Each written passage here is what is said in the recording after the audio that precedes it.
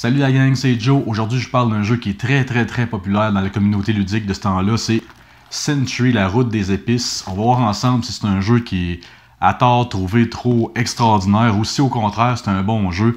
Euh, je vais vous parler un peu de la, du fait qu'on le compare beaucoup à Splendor. Fait que Century, c'est un jeu pour les joueurs de 8 ans et plus, 2 à 5 joueurs de 30 à 45 minutes. Je vous présente les règles puis on revient avec mon avis. Salut la gang! Salut la gang! Salut la gang! Et bienvenue à l'école du jeu.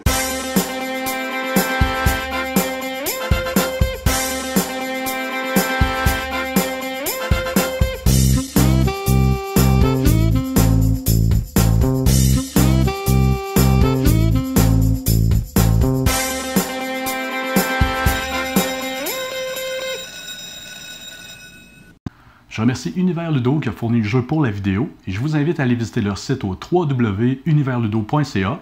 Univers Ludo, rendons les jeux accessibles à tous.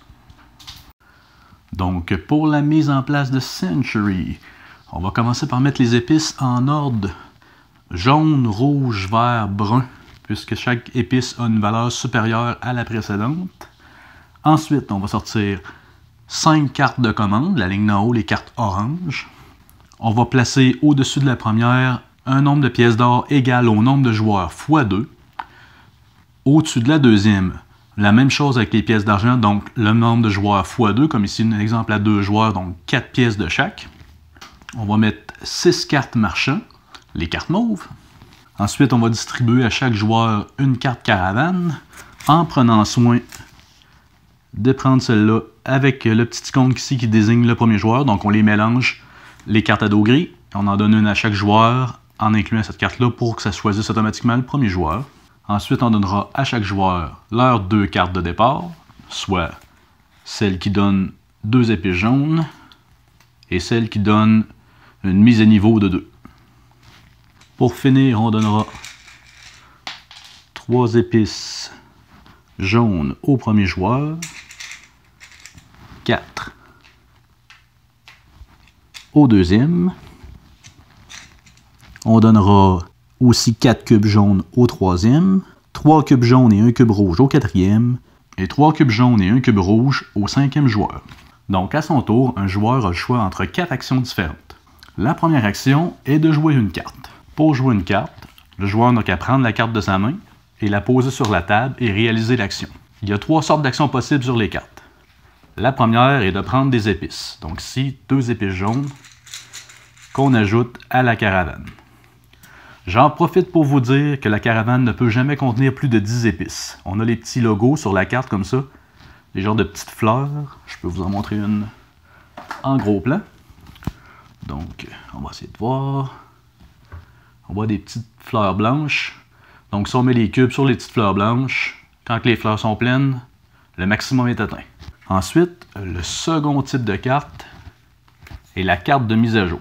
Comme par exemple ici, deux mises à jour. Comment cela fonctionne-t-il?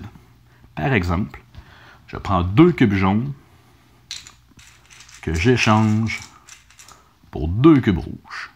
J'aurais pu également prendre un seul cube jaune et l'échanger pour un cube vert. Donc je peux utiliser deux cubes de la même couleur pour avoir deux meilleurs, ou utiliser un seul cube pour faire deux échanges. J'aurais pu également utiliser un seul cube pour faire l'échange. Ici, la carte nous dicte le maximum d'échanges possible et il n'y a pas de minimum. Le dernier type de carte est la carte des échanges. Comme par exemple ici, 3 cubes jaunes pour 3 cubes rouges. Donc, j'utilise 3 cubes jaunes et je prends 3 cubes rouges j'ajoute toujours à ma caravane. Ici, si j'aurais eu 6 cubes jaunes, j'aurais pu les échanger pour 6 cubes rouges. Également, j'aurais pu faire la même chose avec 9 cubes. En fait, il n'y a seulement que le multiple qui est à respecter. Ensuite, la deuxième action possible est de prendre une carte. Je peux prendre la première carte ici, la mettre dans ma main. Ensuite, j'avance la piste des cartes et j'en ajoute une nouvelle. Si cependant je ne veux pas la première carte, je voudrais par exemple la troisième. Je dois laisser une épice par carte afin de prendre la suivante. Je vais décaler les cartes encore une fois. en prenant soin de laisser les deux où j'ai mis les épices, et en sortir une nouvelle. Alors maintenant, si jamais un joueur voudrait la première, il aurait en bonus le cube rouge qui s'y trouve. La dernière action est de réclamer une carte commande. Pour ce faire, il faut remplir la commande qu'on voit haut en bas de la carte ici. Comme par exemple, si je voudrais celle-là, c'est trois cubes jaunes, un cube rouge, un cube vert, un cube brun. Je remets les ressources dans les bols. Et je peux prendre la carte. Donc on voyait bien ici trois jaunes, une rouge, une verte et une brune. Cette carte me donnera 14 points en fin de partie. Comme c'était la carte du bout, je vais aussi prendre une pièce d'or qui me donnera 3 points au décompte de fin de partie. Les pièces argent donneront 1 point bonus, plutôt que 3.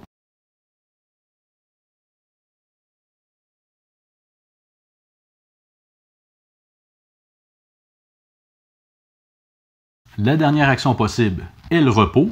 Lorsqu'un joueur fait un repos, il reprend en main toutes les cartes déjà jouées. Et c'est au tour du joueur suivant.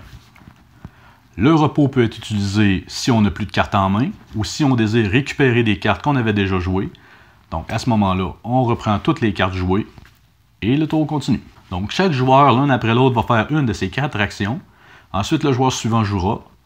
On tournera comme ça dans le sens des aiguilles d'une montre en partant de la caravane avec le petit logo.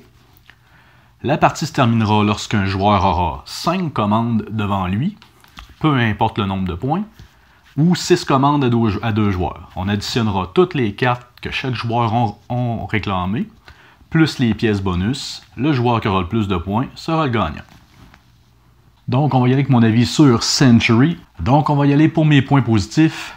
Côté matériel, très très très belle production. Euh, de la monnaie en vrai métal, des petits bols fournis, des grosses cartes format tarot.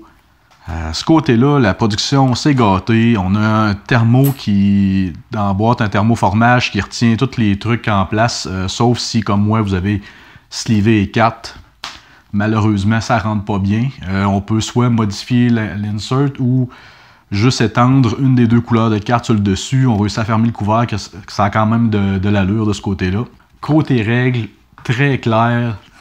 Une feuille seulement recto-verso, puis pas une grande, plus petite un peu que la moyenne. Euh, bien illustré un peu partout avec des exemples. Vraiment bien fichu les règles. Le jeu est rapide, il est fluide, une petite action rapide à chacun. Chacun son tour, ça fait que ça tourne très vite, notre tour revient constamment. C'est très apprécié, on voit moins le temps passer, c'est super. Euh, des parties de 30 à 45 minutes, dépendant du nombre de joueurs, euh, c'est bien, bien, bien visé pour ce type de jeu-là. Autre côté positif, euh, vu que les règles sont simples, on peut montrer pas mal ce jeu-là à n'importe qui.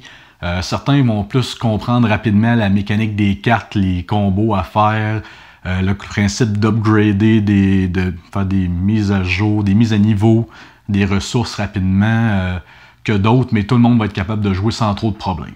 Les petits côtés négatifs, premièrement, le prix du jeu est un peu élevé pour le type de jeu, sauf que c'est la, la, production qui rattrape le coût. Euh, personnellement, je suis un peu partagé du fait que oui, il est un peu cher, mais le matériel est tellement beau.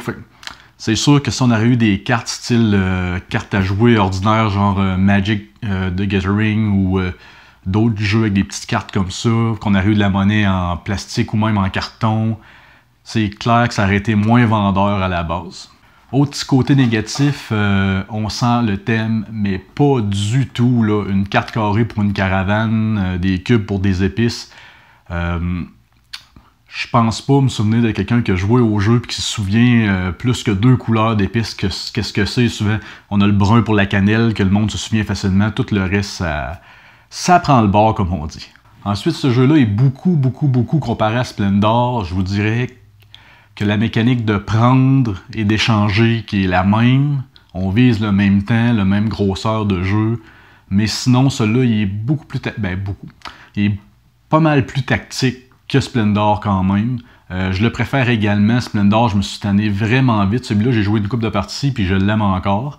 Euh, c'est un peu moins type de jeu. J'ai J'aime bien avoir un thème plus présent un peu.